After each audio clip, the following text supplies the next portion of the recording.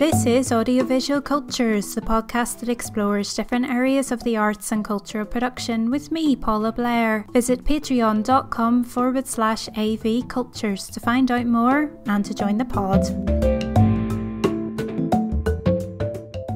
Hello and welcome to the party. I am super happy to be joined for this festive special by Kristie Smith to talk about that heartwarming Christmas classic, Die Hard. Kristie, if you'll indulge me a wee second before I bring you in properly, I just need to have a wee nerd out for a second because you last joined us for episode 18 when we talked about that other classic, Spice World. this is going to be episode 81. Oh. And the maths is just a bit special, all the threes and nines. So I just needed to point that out there for everybody. Okay. And now we can move on with our day. I like the film choices I bring. I like to show up and just lower the tone of the room. Not a bit of it, not a bit of it. So, Kristie, how are you, first of all? I'm fine. Thank you for asking. You doing Good. okay? Doing all right. just creaking to the end of 2020. I know. Now, this film was your choice. Would you be so kind as to tell us all why are we watching Die Hard? Well, I haven't seen it for ages, but why are we talking about Die Hard? Die Hard has retroactively become a Christmas film. So mm. it was mm. originally a summer release. I think it came out in um, July of 1988. But it's set at Christmas time it's a fantastic Christmas film. Yes, that's interesting because I was thinking about the big summer blockbuster would be a high octane action movie, and we've still got that model. Because I was thinking about when we had talked about Skyscraper on the podcast ages ago, yeah. and of course, Die Hard is one of the models for that film. So I was wondering about that actually. I'd written notes about that, so that's very, very useful information. There's not probably going to be a lot of useful information in this show because I think we're going to keep it light. but that's not to say useful information is prohibited. We love useful information of all kinds in this show. It is a big debate that people keep having. I have already seen it on Twitter so far this year. Is is Die Hard a Christmas film? Go, don't at me, you know. So would that be your opinion then that it's retrospectively a Christmas movie? I would say so, yeah. I mean it's set at Christmas and it's especially it's set on Christmas Eve and it's about surviving the night to make it to Christmas Day. I think that's a very Christmassy thing.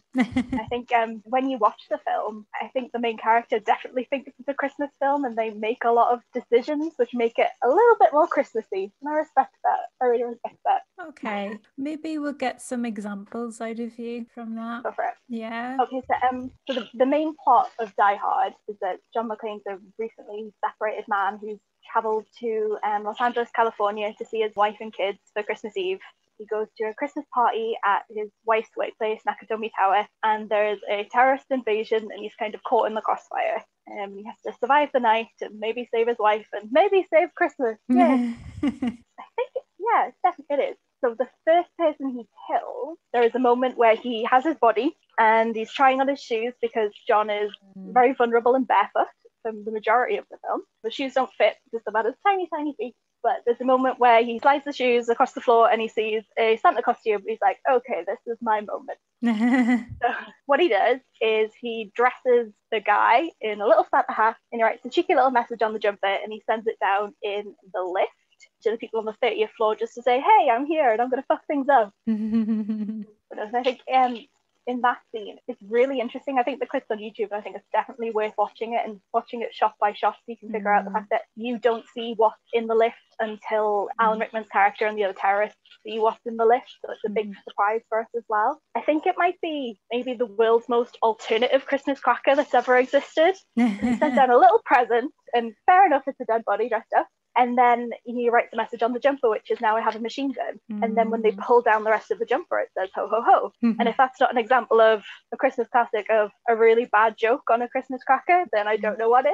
That's a very fine example. And of course, then Hans Gruber does repeat the ho ho ho, doesn't he? Yeah.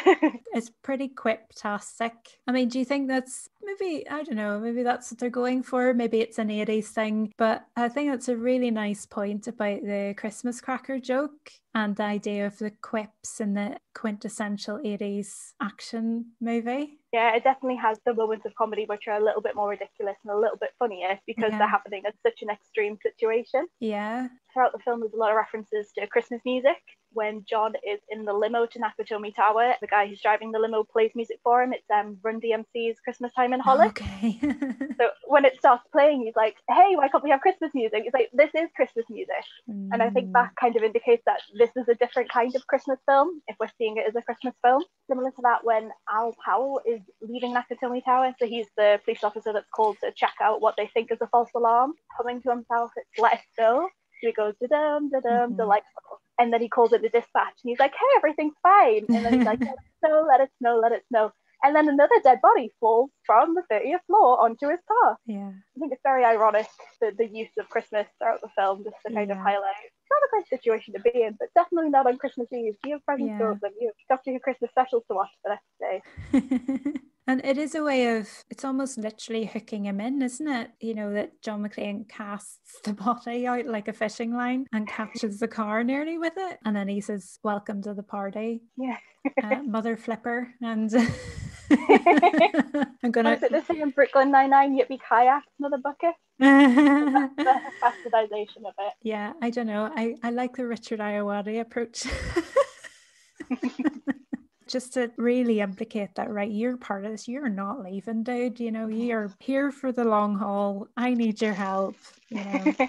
You brought up 9 9 there as well. I'm not sure if we're allowed to talk about it yet or ever because of the implications with police brutality and things. And it all got very strange back in the summer about discussions around 9 9 because it really downplays. It's really a different universe in which the police are not doing that to people. This is Die Hard as a, a real cultural pinnacle. This is it being heavily referenced in lots of other American TV shows and movies and everything. I mean, it's so shaped around so many of the episodes, so many of the plot Yeah. points in 9 9 are shaped around Jake Peralta's obsession with this movie. Even right down to the, isn't it the wedding cake is Nakatomi Tower? One of my favorite examples, and I did rewatch this was my preparation for this, as well as watching some clips on YouTube to refresh my memory. I watched the Bob's Burgers episode called Work Hard or Die Trying Girl. It's where the kids they're given a chance to put on a musical, and Gene is obsessed with Die Hard as well, and so he wants to be Die Hard, and then he gets fed up with everybody, and he plays every part himself. He has this really cool song about Hans Gruber. Meanwhile, another character is doing Working Girl, the musical, and then they end up doing a mashup, and it's pretty um, awesome. Can you think of any other the impact of Die Hard or the references to Die Hard? Brooklyn Nine-Nine is definitely the one Yeah. I go to because it's a big part of Jake's personality, being that like one cop against the world kind Yeah. of thing. You know, I think a lot of people when they're talking about other films, they'll kind of call it like, oh, it's like Die Hard, but instead it's in like a toilet cubicle. It's become like shorthand for just saying someone in a really tricky situation that they're not going to get out of, like Hmm. one person against the whole world. Question. I mean, it's an interesting model. What more can we throw at this guy?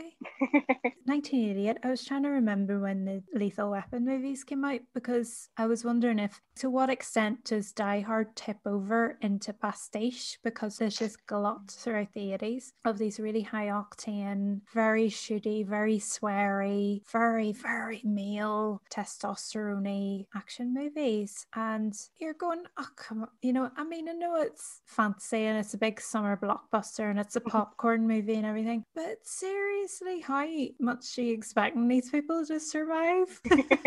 Well, Um, um, I think with Die Hard, I think the difference might be that he's quite keen to try and pass the buck. Like, it's not that he's found the situation that he's in. He's not like, okay, I'm in charge of this now. He's like, okay, I'm going to set the fire alarm off and someone will come. And then they come and they turn around. He's like, okay, I'm going to radio for help. And he radios for help. And then they don't do anything. They tell him it's a prank call. And then when the police finally do come, they send one officer. And that guy thinks it's fine until he has to throw a body at this man and be like, please help me. So it kind of is a pastiche in a little way. I think it's maybe a little bit different to the likes of Rambo or like an Arnold Schwarzenegger film because he's not doing what he's doing for like masculinity's sake. It's just that I'm in this situation and no one's helping me. Mm. And even when the police chief shows up and when the FBI show up, they kind of make it worse.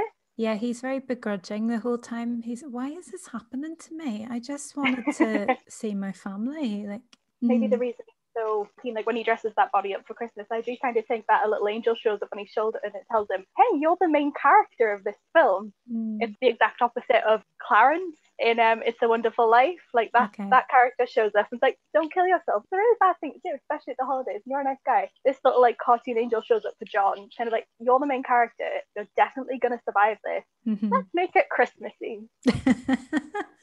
I'm trying to recall if the Christmas decorations get shot up and messed up and stuff. I can't Um, remember. I think they were very pretty and very there in some of the clips I was watching yesterday, but I can't remember if how trashed does the place get. It, it gets very trash by the Mm. end. So I think they're quite like yuppie and 80s about it. So we've got big, what do you call is it poinsettias, the big red flowers? Oh yeah, yeah. They've got them everywhere. They've got the big tree. They've got like a, a Mhm. string quartet who aren't playing Christmas music at all. I mean, it's Christmas Eve. Spend time with your family. Don't be here at a work holiday for something else. But no, so he blows up entire floors at some point. So I would assume that the Santa doesn't survive that. But- mm-hmm. Even then, at the end, there's all of the stocks and shares are kind of floating from the roof that's just exploded, and it does look like fake snow. okay. So even in the sense that all the Christmas decorations have been destroyed, it's still very Christmassy. yeah. It's the only time you will ever get snow in California is if you blow up a building, basically. You make it yourself. it's interesting as well the connection between New York and Los Angeles mm. that's set up. And he's very much a New York cop, isn't he? In this Yeah. other world. And I mean, there's isn't there a whole season of Brooklyn Nine Nine that's a bit shaped because of that, isn't there? You know, Jake and Captain Holt have to go into witness protection or something, and they're Yeah. they're out in LA for half a season. Yeah, I can't remember if it's LA or Florida. Oh, maybe it's Florida um, actually. No, you're right. I always get yeah. Sorry, you're probably right. Sorry, I mean they're both kind of coastal places. S- some are no. coastal and really sunny. Yeah. Yeah, but no, certainly for Die Hard, there's an East Coast West Coast divide there. When he shows up, he knows it's not for him. He makes a few comments like, "Oh, California." it's frustrating the lack of because in New York, maybe it's a bit of an indictment on New York or something that right. Well, if I call, if I threw the fire alarm or if I did all these things, somebody would come. But in LA, they're just oh, whatever. It's just a false alarm or eh, everything's fine. what do we think of Holly? Holly's a really interesting character. I think we Mm. don't see a great deal of her, but what we do see, I think, is interesting. So when we're first introduced to the idea of Holly, we know that they're separated. We know that she has a job which is better paid than John, and that's why she's moved to LA with the Mm. children so that she can pursue her career. And he's been left behind because he doesn't want to go with. He wants to stay in New York and have his job. And then you see when he gets to Nakatomi Tower and he uses a really outdated touchscreen with the air quotes because it's quite clearly a glass screen that someone's just having to play a video on make it look like a touchscreen. She's using her maiden name at work, so she's going by Gennaro instead of Yeah. McClane. For the purposes of the plot, that's really helpful because when she introduces herself to Hans Gruber, he knows her as Gennaro, so there's no link that she's important to this guy who's Mhm. causing so much trouble like Mhm. throughout the building. Holly, to a certain extent, she like takes on the mantle of defending the hostages. So she's like, you know, we have a pregnant woman, get her something to sit on, take us to the bathroom. You know, we she's very protective, like the rest of her colleagues, and she has a certain position of power in her workplace as well. Like Mhm. she's instrumental in the business deal of whatever they're celebrating the same day as Christmas Eve, and they bought her a, a Rolex watch to celebrate. So she must be pretty good at her job. But I don't know if at the end of the film she goes back to using a married name. She does have her little moment where she gets to punch the TV guy who um essentially breaks into her house and threatens her babysitter with being deported so he can Mm. interview her children on air. And that's why Hans Gruber knows in the end that she is married to John Mhm. McClane. So I think maybe in the end she is kind of settled that obviously she doesn't have a workplace to go back to because it's completely destroyed. She may as well just go back to her married name and just we'll move back to New York, it's fine. So she is an interesting character, but I think maybe at the end of the film she's maybe not the most emancipated character. the opposite happens for her in a way. So she had her freedom and her financial freedom, her career, and everything, and then it all literally gets burnt to the ground pretty much. Yeah, so um, at the end, Hans is hanging off the side of the building, and the reason he's able to hold on is because he's attached to um, mm. Holly's Rolex. Yeah. So they have to untie it and let him go. But that's the exact opposite of throwing your wedding ring away. To get rid of the Rolex is to return to being Mrs. McClane. Yeah, it's a really great point, actually. Yeah, because the prop really comes into its own and she has to sacrifice that symbol of her career and her success in her own right under her own name to save all their lives because he's trying to pull her with him. Well, pull her with him and or try and get back up. I was wondering as well because like her her name Gennaro, I think that's Italian, and you know Hans Gruber, so there's a German thing going on, Austrian German thing going on, and then McClane I think is probably an Irish name, so he's New York Irish, and um, he makes reference to um being educated in a Catholic school as well as educated yeah. by nuns. And then Nakatomi is a, a, Japanese corporation as well. The guy who runs the company, I thought it was a really interesting thing that they added in. They don't really do a great deal with it. But um, when Hans Gruber is trying to root him out from all the hostages to find the guy who's in charge, he's essentially reading his Wikipedia page, but he mm. mentions that he was interred during the 1940s. Gosh, yeah, because it's so close to, it's only 40 years after the Second World War at this point. And there's some African American representation as well. So I think it feels deliberately fairly global I think that's fair to thing. I think usually with action films at the time, you usually find that there's like one black character and they're kind yeah. of in charge of just speaking for their entire community. With Die Hard, there is at least four black characters who are like speaking named characters. So you've got Argyle, who's the limo driver. Theo is one of the terrorists. Mm-hmm. He's the, their tech guy, and you know he's their tech guy because he wears glasses. um, and then you've got Sergeant Al Powell, who is the LA police officer on the ground. He's kind of John's support bubble. And then one of the FBI agents is black as well. So there's two FBI agents who are referred to in the credits as Little Johnson and Big Johnson. They both have the same name. So I'd say Al's probably the most significant one. Before, when you were talking about how Brooklyn Nine-Nine's kind of come under a bit of scrutiny at the moment for mm. being what's called um, propaganda, oh, which oh, yeah, is like yeah. portraying police officers in a way which doesn't really reflect their behaviours in the real world. Mm. And there's quite a significant plot point with Al. The reason he's been on desk duty, or the reason he has the shift on Christmas Eve, is because he shot a child and he's not really willing to be doing his full role. I think he's been on paperwork for quite a while because he's not really willing to handle a weapon again. It's peculiar, and I think it kind of shows the sign of the times during the film mm. that his redemption is at the end. He gets to shoot the last terrorist, mm-hmm. but I think the story he tells, he does show a lot of remorse for having shot that child. But I mean, he has done it. And I know when I was watching it most recently yesterday, all I can think of was Tamir Rice and how he was like a young boy who was shot mm. in Ohio for yeah. just being seen with a toy gun that looked like a real gun. I think it would be interesting to know why they made the decision to have that be part mm. of the mm-hmm. story. It's never said whether the child was black or not. Like mm. Al certainly is. Yeah. And I think if Al Powell's character was white, I don't know if it's tricky certainly if they were remaking the film now, I don't think they could justify having that plot point in. There would have to be some other kind of this is my backstory, this is why I'm not kind of up to it. You know, I've got a baby on the way, I've taken the shift, but actually I'm not comfortable handling a weapon. It's very interesting. I think that very much shows that the film is, I know I'm rambling a lot, but I think that shows that the film is of its time. But if they were to remake it, I don't think they could justify having that in. I don't yeah. think you could have a character who is a good character with that background. It's really tricky, but I mean, in a way, it's more realistic that you, because you don't really correct me if I'm wrong, but I don't know if you hear the circumstances or his side of the story as to well how he ended up shooting a child? Was it an honest mistake? Is it something in the training? You know, I mean, there's not really space to go into it, and these things come up quite flippantly, I find, in a lot of those 80s movies. I remember rewatching Gremlins a few years ago it goes very dark at times. You know, the there's Phoebe Cates' yeah. dad. Yeah, yeah, that kind of comes out of nowhere. Yeah. yeah, it's really traumatizing. You know, it's really awful, and it's such a dark, dark thing. I'm not going to describe it because it's really horrific. But in the middle of quite a silly Christmas set horror film that's played largely for laughs,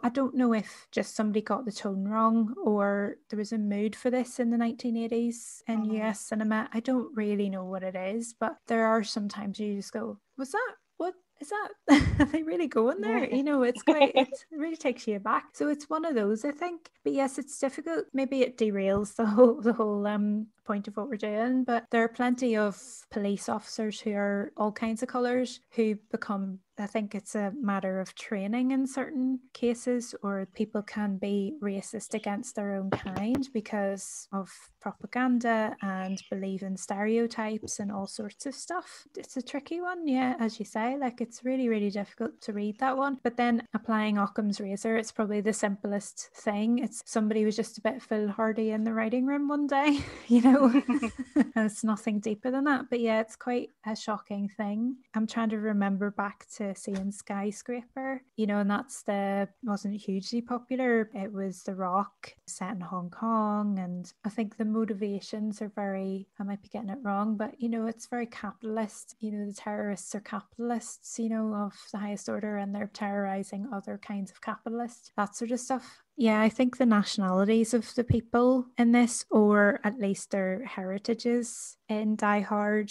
are I don't know if it's just a ham fisted way of having to think about the legacy of the Second World War or something. So Hans Gruber and even Holly, maybe they didn't think that one through, but you know, in Italians and Germans, well, there's resistance in Italy to be fair. So maybe that Holly's mm. like the resistance fighter well, um, and so specifically make, make reference to Hans being West German because it's pre the Berlin Wall falling. Yeah, I so always forget about this. Some kind yeah. of he's involved in some kind of pressure group, but they don't make a great deal of what kind of side he's on it's just made clear that whatever group he was affiliated with denounce him before he does what he does at Nakatomi, yeah, yeah. which is purely for the money that he'll be mm. making. Oh yes, one of the clips I watched yesterday, you know, when he gives his demands for all of the terrorists he wants released, and there's a, the first thing he lists is five people in prison in Northern Ireland. You know, for I mean it's the IRA, but they call it something else. Do you know? And then it goes on to list all these people in all these other countries. It's always a bit of a what moments the Americans keep doing this to me. Um, things like that just make me think of the opening line of all of Sex in the City is your woman going, you know, dating is very much like the conflict in Northern Ireland. What? well, maybe she's onto something. Maybe it is exactly. And then when I was, we were watching um, Star Trek: The Next Generation, and Data talks about the unification of Ireland in 2024. Yeah, so we've got yeah. that to look forward to. Anyway, that was a wee ramble there. Well, it's all ramble. Is this one of your favorite films? Would you say is a film you you really love and keep going back to? It's definitely a film I can keep going back to. I think because it kind of builds and builds. So it's like the first maybe 30 minutes or just kind of John in the building trying to survive by himself and it just gets bigger and bigger. So then it's John and Al and the police chief, and then the FBI are involved. And then it kind of goes back to just being John and making sure he can get Collie out of the building okay. No, I think it's really impressively made.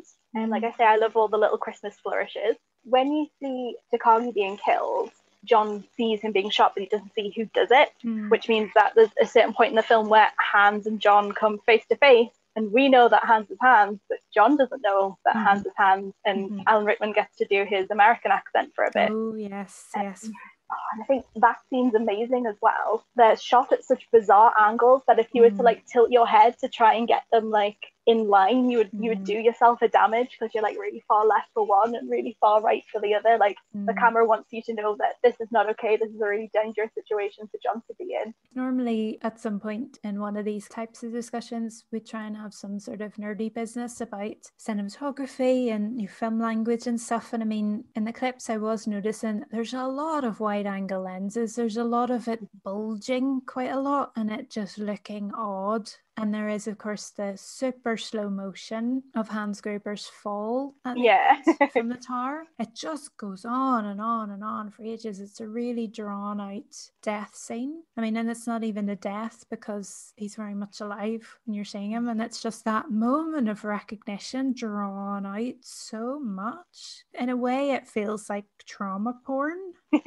because you're watching somebody and it's Alan Rickman, of course, so it's really nuanced. Imagine this would have been filmed in real time, him falling against the green screen and stuff and onto a crash mat and everything from a high distance. But that being filmed and, and him capturing that nuance of, oh, oh, oh, this is happening now. You know, I'm not going to make this. This is it. So it really forces you to experience that. I would say that's something that's much more difficult now in US culture post uh, 9 11. And we're quite a while post 9 11 now. And of course, this is way, way before, and nobody would ever imagine that something like that would ever really happen. I imagine that's something that's actually quite difficult for people, possibly, to watch. Certainly, anybody who has who remembers, you know, the falling man photographs and that sort of stuff but it just the way they it cuts away and then it oh, you see it from a distance. It's more you don't see any landing. You just there's this horrible thud on the sound track and the um i think is it al and somebody else who's in the frame with them? Just that reaction. Yeah the police chief says i hope that wasn't a hostage. Yeah um, yeah. cut two line it's a big fall. It's a very high height. this is, you know, mincemeat we're talking here. I don't know if we can mention Alan Rickman and Christmas movies without bringing up something fairly yeah, obvious. Love Actually. is he more of a bad guy in Love Actually than he is in Die Hard? Good that, question. oh, that's an excellent question. Do you have thoughts on this? Do you have a debate on this? I don't know. No. Quite really a worst character in Die Hard. No. Yeah, I don't know. He's pretty deplorable in uh, Love Actually for Emma Thompson. She gets there. I would time. love to get a Joni Mitchell CD for Christmas. I don't know what you're complaining about. uh, but no, I think in terms of Die Hard, there's a lot of antagonists the right word. There's a lot of bad guys who are bad guys. Yeah. I think for all Hans Gruber is the ultimate primary antagonist of the film. He is quite likable. He chats on with Takagi, admittedly before he shoots him in the face. Again, going back to my favourite scene, which is the lift there's a bit where he's making a speech, which is like, we've planned everything, everything's mm-hmm. going to go mm-hmm. exactly as planned. And he's just kind of helping himself to the buffet that they've set out at this yeah. Christmas party. He's a nice guy for uh-huh. all that uh-huh. he's not a very nice man. And I don't know if it's that's just because it's played by Alan Rickman and you just get the vibes off him, or because of the way they've characterized the other people in the film. So you've got the police chief who's very keen to say that he's in charge when he doesn't really know what's going on. Mm-hmm. And um, you've got the FBI guys who are really keen just to kill some terrorists. They don't mm-hmm. mind how many hostages get in the way. There's the TV reporter who's just looking for a story and he doesn't care that he's going to traumatize those children on Christmas Eve mm-hmm. or deport that nice babysitter. That maybe their motivations you can't really side with them in any way. Whereas with Hans, he's still, I don't know if it is just the Alan Rickman side of things, or maybe there is something a little bit more there. He's very charming. Admittedly, he's just after money, but there's something there. There's a vibe there. I think that's the word I'm going to use. There's a vibe. Even though he's deplorable, he's still likable, and mm-hmm. that can't be said for some of the other characters in the film. And I think that's peculiar, but I think if you had like say ten people watch the film, you'd be like, "Oh, what do you think of Hans Gruber?" They were like, "I kind of like him." Mm-hmm. I think everyone would have that reaction. Whereas if you were like, "And what do you think of the FBI guys?" They'd be like, "They're the worst." I wonder if it's something there's a point where Holly calls him a common thief and he makes a point to get in her face and say that I'm an exceptional thief. If there's something about being confident at your job that makes you a bit more likable than than the others. I wonder if there's mm. something in that. He certainly enjoys it. I mean, he's not that good at it because look at what happens. yeah, definitely charming and polite, thoughtful, contemplative, good with words. The film makes reference that he has a classical education. yeah, yeah, yeah. Where he's like, he's a really nice suit and you know he's doing a lot of this in his second language. Yeah. And using it until a point because he's got this gremlin that is happening. If it wasn't for john mcclane it would have gone dead smooth. But he had this scrappy new york cop who in no time at all gets into a vest and in no time at all even loses the vest loses the vest yeah. And it's just blood everywhere I mean, he's really good. John gets really caught up, doesn't he? He's really. He really does. How you even really bad. at this point? Like, um, when he's on the roof and they're gonna blow the roof, and he's trying to get the oh my goodness he's trying to get the uh, i mean this was nearly copied almost shot for shot in skyscraper but in a higher tech environment. You know when he gets the fire hose and manages to string himself up to it and he just gets lucky. He just gets lucky because this thing totally comes off the wall and it just gets hooked briefly on something long enough for him to hang there for a minute I mean, and he's so bloodied that he bangs against the window and there's a big splodge of blood yeah. on the window. a big part of Die Hard is how unlucky can you be with how lucky you are? Because it is that he gets off the roof just in time. His feet are cut up with glass by this point. Oh. He has to boot open a window to swing back in. Yeah. And then the wheel that holds the fireman's hose falls out the window and takes him with it. So he has to quickly untie himself. Just like how much sertraline do you have to be on after you go through an experience like that? I know like, it's not, not, for me. Yeah, he's he's in ribbons. There's not much left of him by the end of it. It does get very similar similar in Skyscraper. It's a real homage to it, I think, where the Rock just keep and the you know the Rock he's playing a guy who is an amputee. He's using his leg, the prosthetic leg, to do a lot of stuff. And you're like, that leg would not even at high tech as it is. This thing is shot to pieces. I mean, there's nothing left there's nothing left of his body. There's nothing left of his prosthetic. I mean, how are you even function at this point? It's this idea of the non-super superhero. They just keep going, and it's that drive to survive at all costs. And yet the bad guys are just dying really you relatively easily. But yeah, I was just thinking actually that idea of luck is it the travelator, the moving floor. You know, there's one of ah, those. Yeah. There's a bit where oh, there's guys who've been painting and all the scaffoldings around everywhere. One of the bad guy, one of the terrorists is coming for him, and John turns the travelator on. So the gun comes towards him because he's lying there and he's trapped under a scaffolding thing that's fallen. You know, he's pulling the gun towards him to shoot the guy. Am I getting that right? To be honest, I don't remember that bit, but it sounds great. Maybe it's Die Hard 2 or something, and I watched the wrong be. thing. Yeah, because actually, yeah, that's set in an airport, so it would make sense that they have one of those. Um, ah, that's what it is. I was wondering wondering why there was a travelator. but again, that goes back to being like, how yeah. lucky can you be with being lucky that he's been through four of these films? He survived yeah. them all, but you have to get into these situations in the first place? Like, it's desperate. Um, what did you do in a past life? Because it's so unlucky, but as you say, he just things just work out somehow for him. And but is um, that the um, power of Christmas?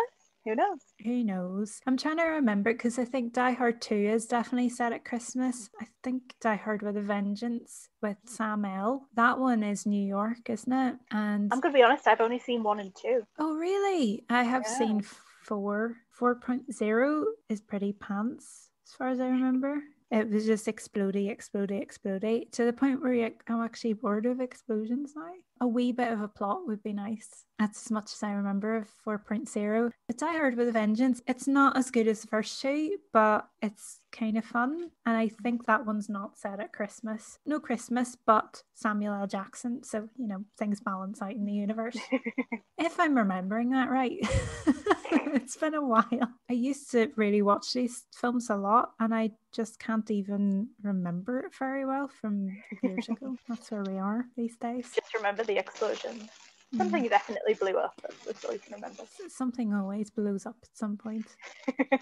Because I remember a helicopter, I think, blowing up in 4.0. That's about all I can remember. I think Justin Long is in that one. And I only know who he is because he's in a really obscure comedy called Ed that I really liked.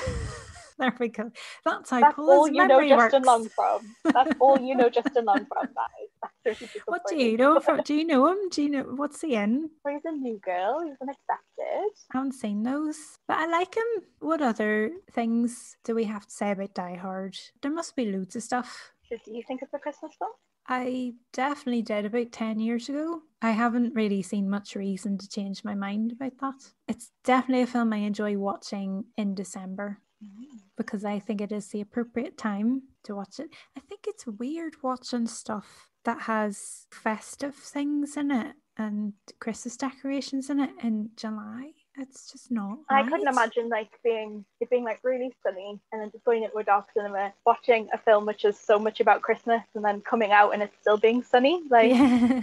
to have seen that on like the 15th of July, it, it doesn't make sense to me. I- definitely a blockbuster. I get why it was a summer release more than it is a schmaltzy Christmas film where you come away with a warm and fuzzies. But so much of the things in the background are Christmassy. They'll always be like tinsel or a Mm. tree or like a little Santa or something. And like I say, there's like two bookended scenes where John like specifically makes a decision to make something Christmassy. I don't know, it's a peculiar one. I get why people think it isn't a Christmas film. I think a lot of that reasoning is just that, well, it was released in July and they didn't want it to be a big C Christmas film.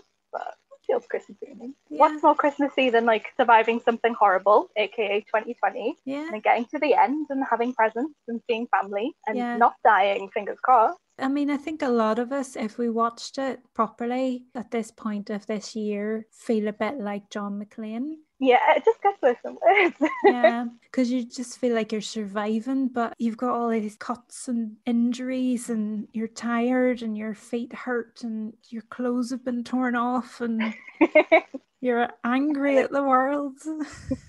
Squeezed through an air vent, you've fallen off a building. But on the plus side, your wife, not yet ex wife, she's lost the childcare because of the thing. And so she's going to need somebody to help with some childcare. So you may as well stick around. And isn't that nice? You'd be useful for your kids for a change. There's always a silver lining. Are there other films that you think are quite festive films that aren't typically, or that there's a question mark over? I'm trying to think if there's any oh. others that Oh. are in this ambiguous category. Good question. Well, I feel like the ones I would go to are like damped Christmas films. Like The Ah. Grinch is a big one for me. Okay. Like Muppet's Christmas Carol, like Yeah, well, yeah. couldn't be more Christmas if it tried, kind of thing. Yeah. But again, that would be an argument for Die Hard being a Christmas film that it's specifically set on Christmas Eve and it's got this build up and this build up to this thing. Hmm. The same way that, like, I think It's a Wonderful Life all takes place on Christmas Eve where he's deciding whether he should commit suicide or not. Mm, Christmas Carol, any variation of is all set on Christmas Eve where someone has this big realization and everything's different in the morning. I think the same could be said for Die Hard that John comes into LA on Christmas Eve, doesn't have a wife, hasn't seen his kids in six months, he's wearing a shirt, and then once midnight hits, it's Christmas Day, his wife's using his surname again, he'll be able to see his kids. He doesn't have a shirt or shoes, but Christmas miracle. mm, got the family back. And heteronormativity is restored. That's always the important thing is that the heteronormative relationship and the 2.4 kids is restored and all is right with the world. If your wife has a job and she, she doesn't want to quit, you just blow up that building. You that's the solution. You just Yeah. get that building done, get rid, get some terrorists in, kill a bunch of folk. Christmas miracle all by your own hands, all by accident. One of my, I call it a guilty pleasure, and then I correct myself because I think, do you know what? No, it's just a pleasure. I shouldn't feel guilty about it. Is while you were sleeping. I haven't seen it for Oh, years. yeah. I love while you were sleeping, and I can't So explain funny. why. Uh, There's just something very special and warm about Sandra Bullock and Bill Pullman in a movie together. It's perfect. that does have Christmas themes as well, doesn't it? Because she's orphaned and she always spends Christmas by herself. That's why she has that shift where she saves him. Yeah. And then it's one of those films where like Christmas for them seems to last at least two months.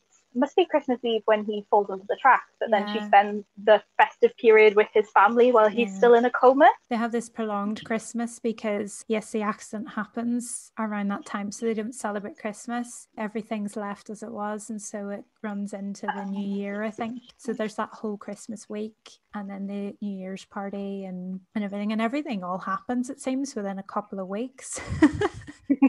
it's just a little fairy tale almost. You know, I suppose it's like the snow globe analogy that's in the film. It's all contained in this little fantasy snow globe, you know, this little contained tiny world. And it gets stirred up a bit and then it all settles. You know, it's just it's a perfect wee thing. I love it. I haven't seen it for a long, long time. I do love I it. I think if you go back to it, you'll probably see some. Um, probably probably have problems with it, no doubt, Yeah. because that's the way everything is these days. Yeah, there's the creepy neighbor, but he's quite sweet in his own way.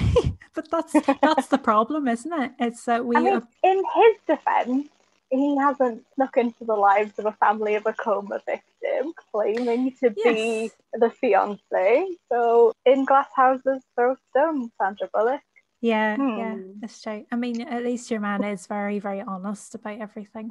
that is a very good point. It's almost like of the screwball tradition where somebody accidentally gets thrown into a situation, and even though they've tried to tell the truth, because I feel like she tries to tell the truth, and it, again, it's that thing of you're just going to keep encountering this bad luck mm-hmm. where it's going to go wrong, and you're going to try and tell the truth. People are going to make assumptions. You're either not going to be able to correct them, or there's no opportunity to correct them. So they then believe it, and then it looks like you've lied about everything because that happens a few times here. And it's very stressful, but it's mm. also really sweet.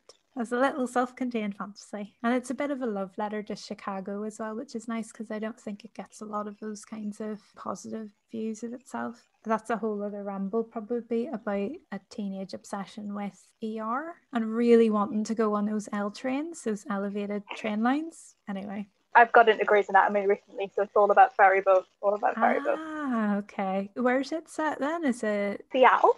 Seattle, okay. Well, that was Frasier for me growing up. Seattle. And it was just ferryboats because why would he lower himself? exactly, yeah. Probably has like a fate and ponies. Do we have anything more that's useful or inane to say about Die Hard? Oh, I can say many inane things. Yeah. I need to rewatch the whole thing again properly. I would definitely recommend it. Yeah. Watch it tonight or tomorrow, and we'll meet back up, and I can get your opinions on whether. Well, I always enjoyed it as a younger person. I think these days I'm too tired. I see something out and it's exhausting. Just watching clips of it yesterday. I was going, for goodness sake, this is five whole minutes. it's just an effort to sit here and see this guy going through all this stuff. This is intense. I am. I think the Bob's Burgers version is very much my vibe these days. Oh, and so, they do um, Alien as well, don't they? They do. Yes, there's. Uh, yes, you're absolutely right. It's an episode where Linda gets sick and she can't go and see the kids performing. Oh yeah, so they all tell lies about what happened. So they yeah. embellish what happened, and Tina's story is based on Alien. Yeah, well remembered. I do love Bob's Burgers. I have to say.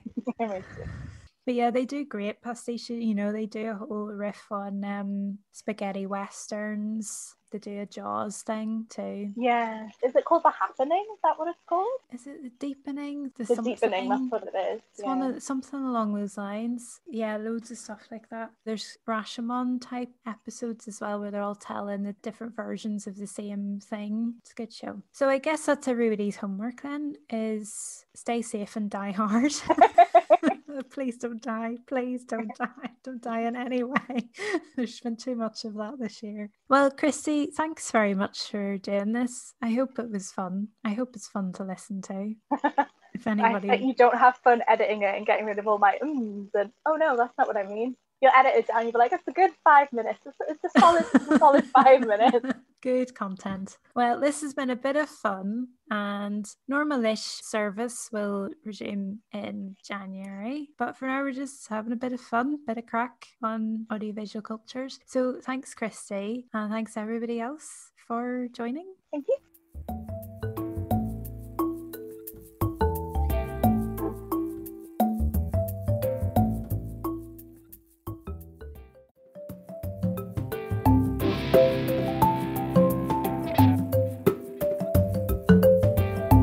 Has been a Cozy Pea Pod production with me, Paula Blair. The music is Common Ground by Airtone, used under a Creative Commons 3.0 non commercial license, and is downloadable from ccmixter.org. Episodes release every other Wednesday. Subscribe on Apple Podcasts, Spotify, Amazon Music, or wherever you find your podcasts. See the show notes for a video link if you need auto captions. Be part of the conversation with AV Cultures on Facebook and Twitter, or AV Cultures Pod on Instagram. As well as Patreon membership, one off support is appreciated at buymeacoffee.com forward slash PEA Blair. I produce and edit the show by myself, and I am grateful for any support for this work. For more information and episode links, visit audiovisualcultures.wordpress.com. Thank you so much for listening. Catch you next time.